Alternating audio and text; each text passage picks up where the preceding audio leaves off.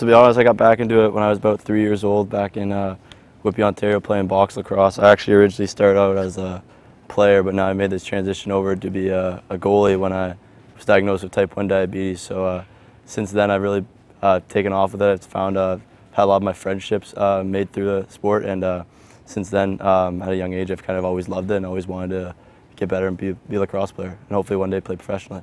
When I was first diagnosed, I kind of had a little bit of a a little bit of a kind of second guess myself if I was ever going to be able to do this again. But um, the doctors said it wouldn't be that big of an issue, it wouldn't be a problem. I'd still be able to be uh, be an athlete and still play sports and still be who I am. It's just I just got some things I have to change that are in my routine that other people don't really have to take care of during their their uh, pregame rituals.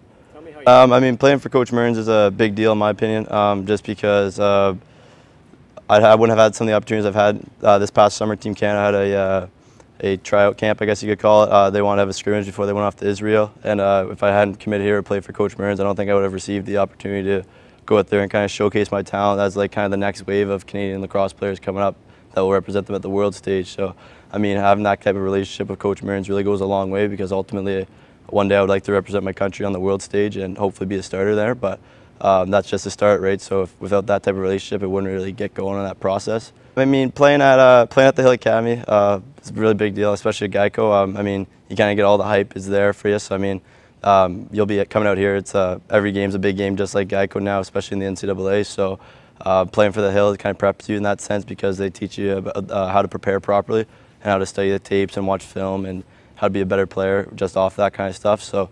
Um, playing uh, at such a high level kind of gets you used to that sense. Um, I mean, it's pretty interesting. I mean, um, it's not something you're really used to because uh, you just think about it, you come from a small town Canada, um, you don't really think about it being blown up as a sport, especially the way lacrosse is evolving now.